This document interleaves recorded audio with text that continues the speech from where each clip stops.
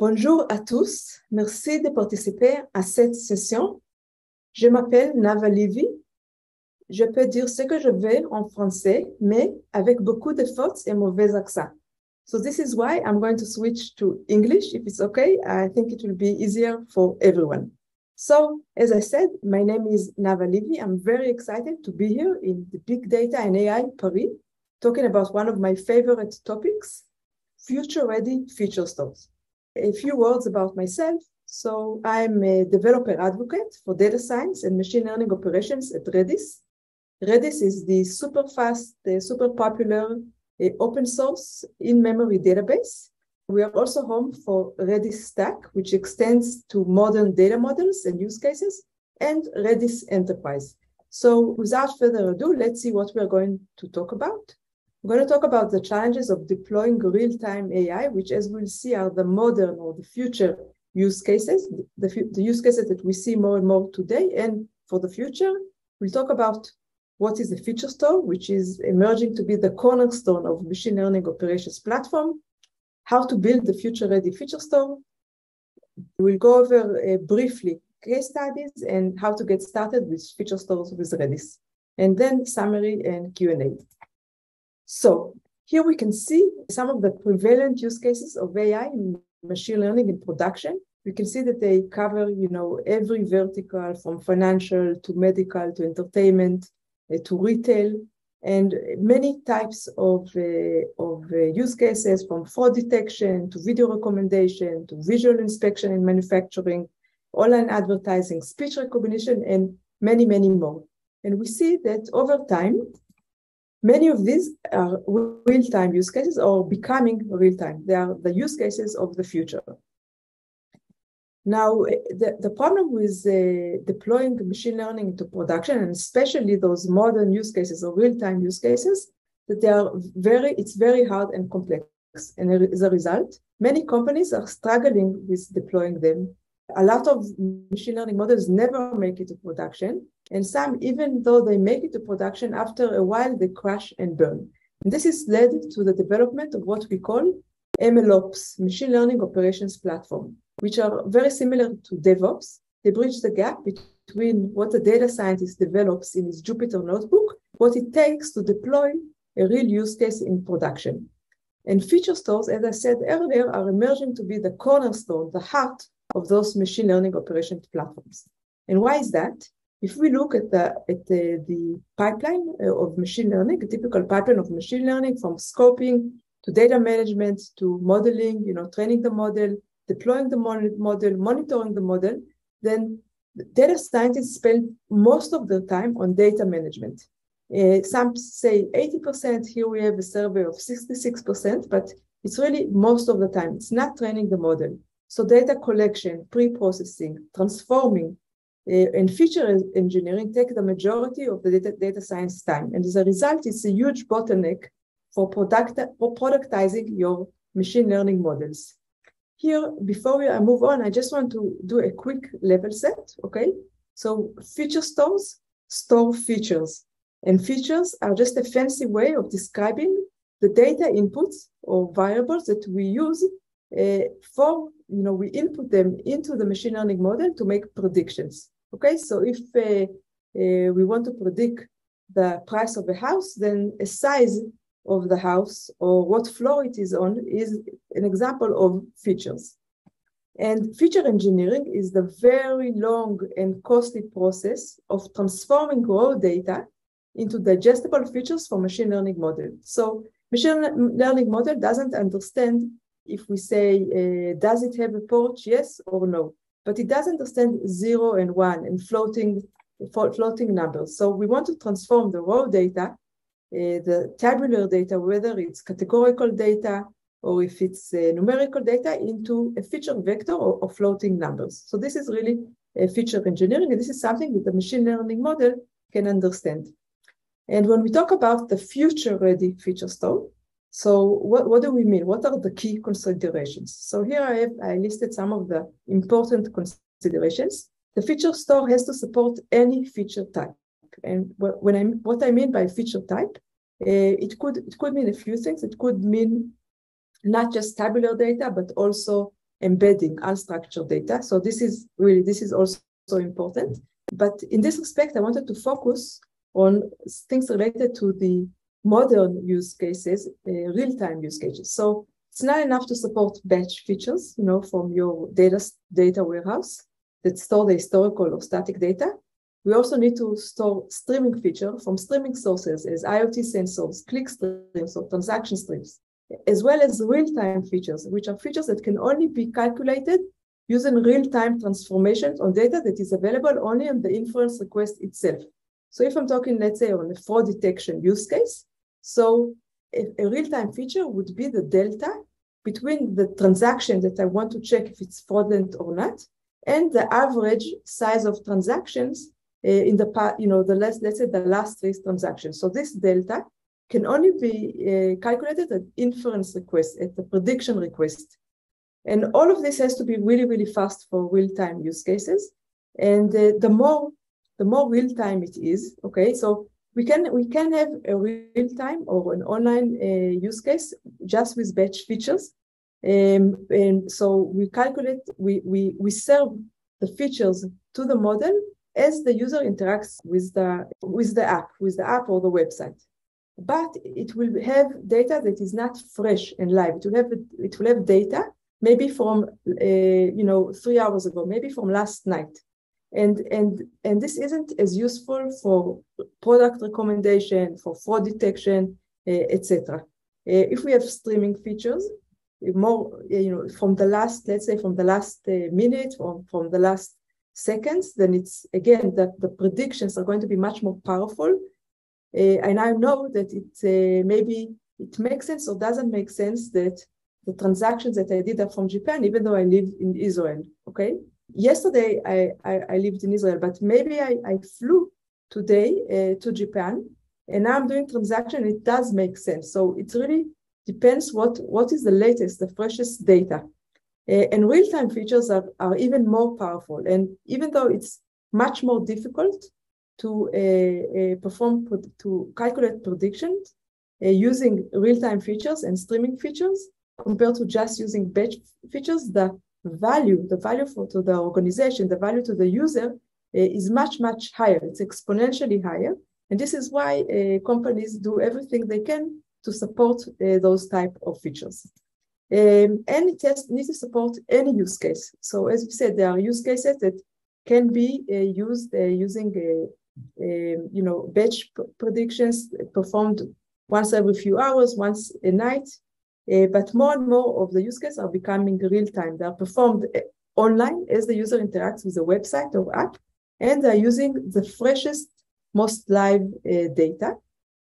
And when we talk about any use case, it could be use case that, that needs to uh, features in, in, in, supported in different data structures. Maybe it's probabilistic, probabilistic data structure. Maybe it's a sorted set. Maybe it's hashes. So uh, the feature store has to be flexible enough to support any of those uh, use cases. Uh, it has to be to be able to scale to any scale that we need future ready feature store. If the if the use cases are successful, then the company, and this is our experience, the company grows much faster. The users, many more users, much more data. So the feature set is growing. So it has to support any number of, uh, uh, of predictions or queries per second, any number of uh, use cases. Some companies have hundreds, hundreds of use cases in production and billions of features and many, many hundreds of data scientists working on it, and to any uh, size data set, uh, terabytes and more. So this is the any scale. So this is like the three uh, basic prerequisites to support uh, um, any use case of the future, the future ready feature store. But this isn't enough. we, we want also um, it to be done cost effectively. Why?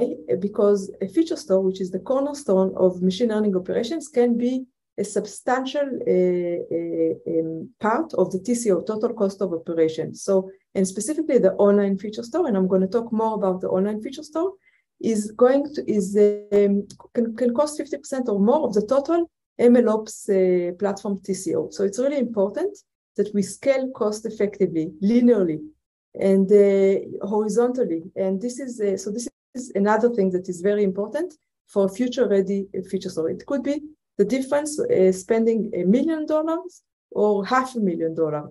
Okay, and the and the difference can be substantial in terms of is it a viable use case? Is the ROI is, uh, is, is substantial or, or it's not a viable use case? Uh, it should be a functional rich feature store. So we see that feature store started with um, you know uh, having a very basic set of features and and as uh, as they evolve they have more and more capabilities or functionalities so for instance some feature store already support uh, performing or calculating the, the, the, the, the, features, you know, doing the uh, engineering inside the feature store. So this is something that, you know, can be very powerful. Some of them enable monitoring, you know, very extensive monitoring of the data, of the features, the distribution, the input, the output, and they allow enable us to detect, you know, performance issues both on the data science side on and the operational side so um, a functional reach is important and it doesn't have to be a, a feature store that already has all possible uh, functionality. We, we don't, we can't really anticipate all possible functionalities, but it has to be a, a feature store that has the potential to evolve. It's component based. It's all the time evolving. If it's an open source uh, feature store, it has a lot of uh, support from the community and the cadence, the innovation is, is very high and it's and it's if it doesn't have all the features that they have it, it's on the roadmap. And lastly it's enterprise ready. So enterprise ready means a lot you know a lot of, of uh, capabilities. Uh, so um, five nine availabilities not having any downtime is really important uh, for enterprise. So maybe now you're a startup and you're growing very fast but as as uh, you look into the future uh, You'll have larger and larger customers. You yourself become enterprise. There are compliance regulations, privacy, security, AI regulations that are not yet enforced, but will be in a few years' time. Uh, that uh, so we also have to pay attention to that. Uh, persistence is important, so no data is lost. Uh, multi-region support, multi-cloud support. Again, to be cost effective, we don't want to lock to be locked in, in into any cloud. So a feature store that can be deployed on any cloud and maybe also on premise is very important. Um, so how do we go about uh, building the future ready feature store? So first, before we do that, let's first um, look at uh, more closely at what is a feature store. So a feature store, which stores the features, and features are, as we said, a fancy way of describing the data inputs for the machine learning model, sits between the raw data and the model. And uh, so we have the raw data, we do feature engineering, we ingest the data into the feature store, we extract those features either for training or for predictions. Uh, um, and, and for, for real-time use, use case, we need to extract those features very, very fast. So the challenges, the key challenges, the feature store address, and there are more challenges. I just put the top top three. Uh, the first one, serving features for real-time predictions with low latency. And this is uh, arguably the most important um, uh, challenge that uh, feature store have to address because without it, there is no use case. If we can't uh, serve features fast enough for predictions, then either the customer will just wait if it's a fraud detection, you know, uh, for the transaction to be approved or not, and is just going to leave the site, or we will approve uh, the, um, um, the transaction even though we didn't run a, a fraud detection on it, which is also bad. So, um, so, so serving feature for real-time uh, prediction is very, very important. The second is avoiding training serving skew. So what uh, we what uh, we found is that there is a, a, a, gap between the pipeline, the training pipeline, and the serving pipeline that leads to um, to a skew in terms of accuracy between what we see during training and what we see during production. Those slight differences, those translations between you know, a, a Python or, or Java or, or, defining the transformation slightly different uh, in, uh, in, in pandas versus a, a, SQL is makes a, can make a, small differences that make a, a, have a big impact on accuracy. So we can have a 95% accuracy in training, and then in production it's 85%. Now, not everything is due to um, the difference between uh, the training and production. Some some of it are related to data drift and concept drift, but whatever we can uh, we can control uh, in terms of the definitions of features and and and ex executing the transformation we want to fix. And lastly, resharing of features between machine machine learning use cases. As we said, creating those features, feature engineering them takes a very long time. And, uh, and the idea is that not every data scientist will reinvent the wheel that, uh, for when he wants, he or she want to define the features.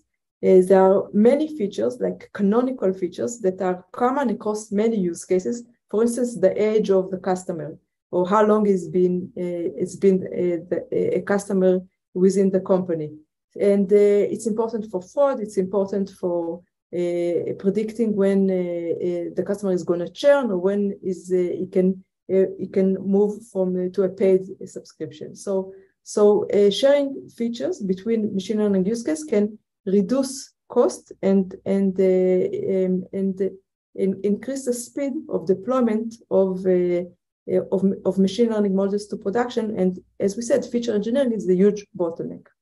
So uh, we are, I'm going to focus now on the on the real time aspects uh, of uh, serving features for real time predictions with low latency because as we said, this is really important. And when we look at the data pipeline for AI ML in production, um, let's look a little, a little bit closer, closer. So we see that the sources can be batch sources, like the data warehouse for historical uh, features and the user profile, etc., and streaming sources. Uh, as I said, the last transactions, click stream, uh, uh IoT uh, inputs, uh, server logs, etc. And, and then we do feature engineering. And the feature engineering, we can, it's very important to know, you know, what are we using for the transport? Is it Kafka? Is it Kinesis? Is it Redis streams?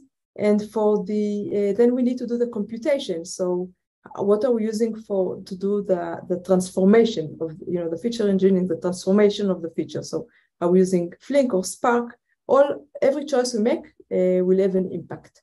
And then when we look at feature, feature serving, how do we extract uh, those uh, features from the uh, data stores that is used to store the features. So are we using AWS Lambda function? Are we using an HTTP um, server? Are we using a Java gRPC server? So if we're using a Python HTTP server, uh, our friends at Feast, which Feast is, is, a very popular open source feature, so found that uh, using a Python HTTP server is much slower compared to a Java gRPC server. So every choice we make will have an impact. And finally, for the actual predictions, so uh, is our model optimized? Is it is it small enough? Are we using accelerators like TPU or GPUs? Uh, what what serving engine are we using? Or is it a TensorFlow serving? Is it a NVIDIA Triton? Every choice we make will, will, will have an impact on the end-to-end latency, okay?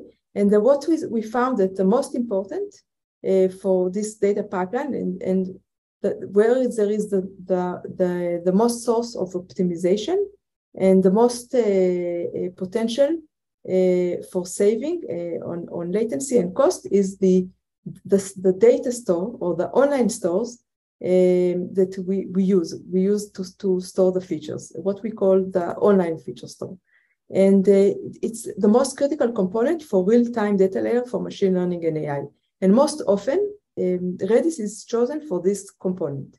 And the reason that Redis is, cho is chosen for this component is because of the performance of Redis. And here you don't have to take my word for it because it's such a critical component, because it has such a potential for improvement, reducing the latency, reduce, removing the bottlenecks, reducing costs.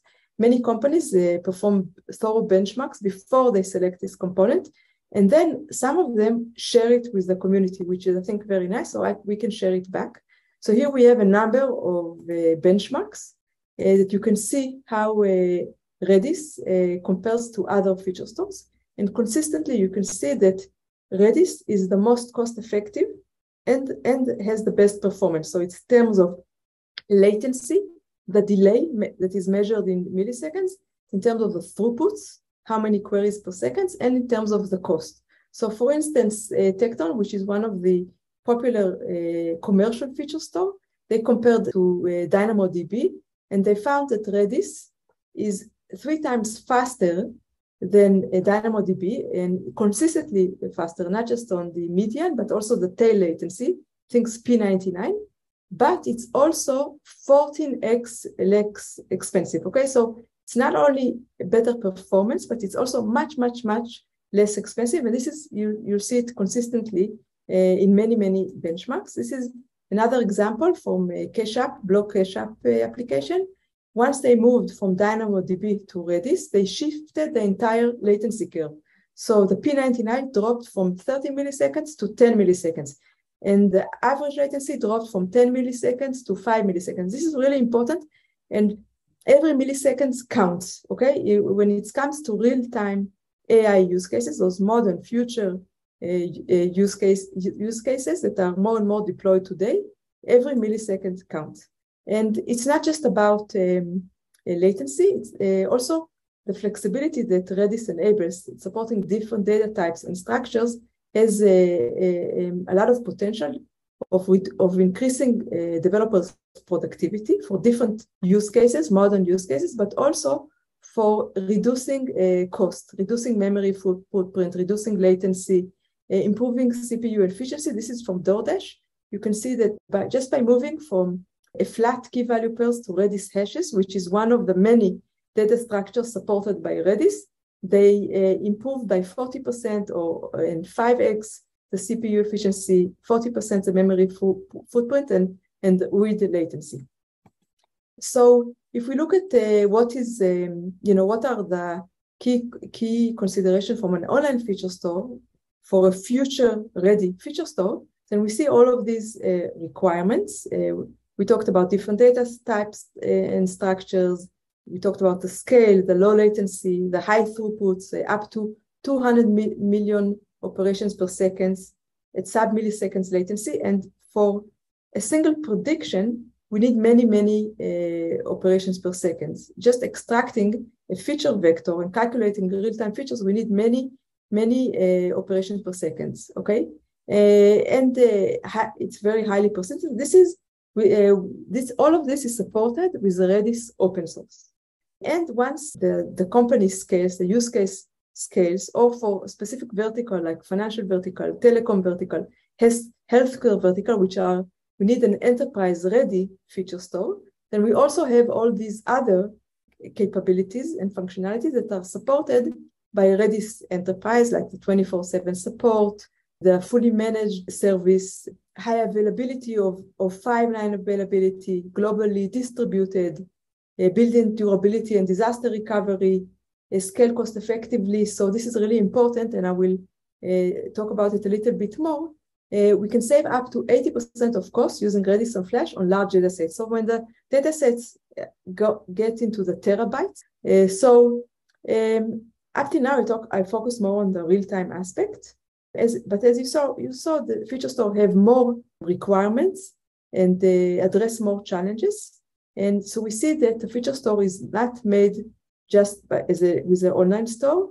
More recent feature store added side by side to the online feature store and offline feature store, where the offline feature store take care of the training and the online feature store for the online predictions. So feature store is emerging as a new logical component which has two manifestations, offline and, and online.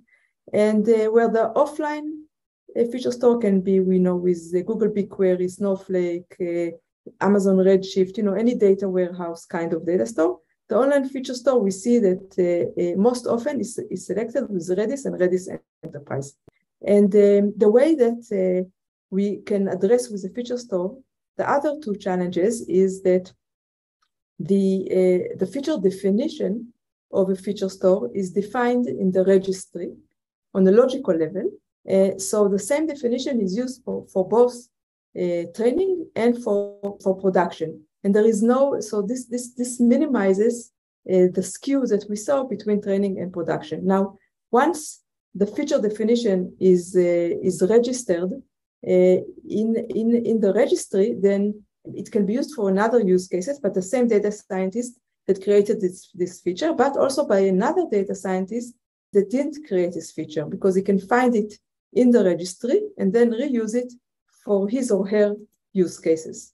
Uh, these are examples of companies leveraging Redis and Redis Enterprise to successfully deploy online chip feature store for real time. They cover, you know, every geography, every vertical, you know, from uh, food tech to, to ride hailing to finance vertical. And we see that all of them are very successful companies and using Redis uh, with large data sets at scale. Uh, here are examples for uh, two use cases that are using Redis Enterprise uh, for the high scale uh, use cases, for many uh, real time use cases. One is iFood, which is a food tech company, and the other is Gojek, which is started as a ride hailing company, but now it's really a super app. And uh, iFood is has 80% of the market in Brazil. It's a very successful company. And Gojek have uh, uh, close to 200 million users. And iFood is using a built your own feature store with Redis Enterprise as an online feature store. And Gojek used the Feast open source feature store uh, with Redis Enterprise. So we will see later that there are many ways of getting uh, to your feature store, and I will discuss it uh, briefly. We can build from scratch like iFood. We can uh, start with open source. So the, the, most popular open source feature store are Feast and LinkedIn Feathr. Uh, or we can buy or subscribe to a commercial feature store like Tekton or H2O, Qwak, and Kaskada. Um, here we have uh, a few tutorials uh, to start with open source feature which is the easiest. You can do it, you know, a, a few minutes uh, after you uh, listen to this uh, presentation online or when you come back uh, home from the conference. Um, so you can see here we have a, a, tutorial that explains how to install Feast with Redis. And it's also available in Colab and it's very, very easy. Here we have uh, another tutorial that explains how to use a Feast on Google Cloud with Redis Enterprise. And afterwards, you can look at the recording. We'll also share links to the tutorials in the description uh, for, uh, for this video. Here you can see Feast on, on Azure with Redis. And it's already pre-integrated to the uh, Azure data and AI ecosystem. So if you're already on, on Azure, so this is a really good option. Here we have uh, LinkedIn Feathr on Azure with Redis. Feathr is also integrated to, into the Azure data and AI ecosystem. Both of them support enterprise tiers, Redis enterprise tiers for high availability and persistence and, and uh, geo distribution. And so this basically the last uh, slide of my presentation. We saw why feature stores are so important, uh, how they are becoming the cornerstone of machine learning operations, why they are critical for you know the modern use cases, those real-time AI use cases, uh, how to go about building a future-ready feature store and what is a future-ready feature store. And we went quickly over how to get started with feature stores uh, with Redis. So uh, this um, basically the last slide, and I will take now questions. Thank you very much for joining this session. Merci beaucoup.